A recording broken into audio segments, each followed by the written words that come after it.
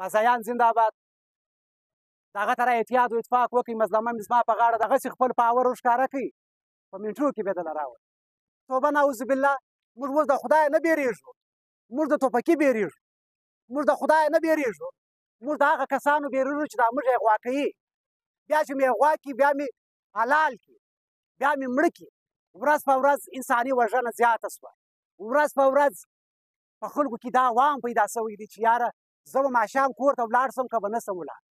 خدای زموږ د موږ ویر دی موږ د بندګانو بیر یو نو پر داسې کار باندې زه به دا بازایانو ته داد ورکوم خلک دې غلطه نه بولي ښه کار یې وکړي کم سې کم و دا غلو ته خو به موږ دا ورښکاره کوو چې یاره موږ یو یو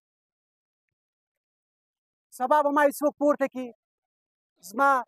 د پوښتنې والا به نه او که دا ترا وه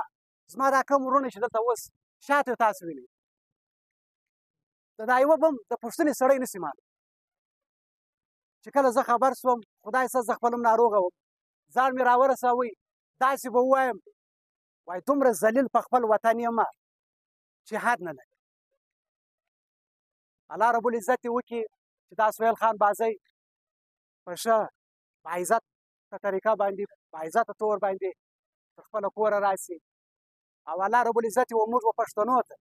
دومره اعتیاد او اتفاق راکړي چې زموږ د ذهنو دا خبره ووځي چې دا سید دی دا کاکړ دی دا ترین دی دا سکزی دی موږ ټول په دا کلمه سره وروڼو یو چې لا اله الا الله محمد رسول الله بس دا زموږ ایمان دی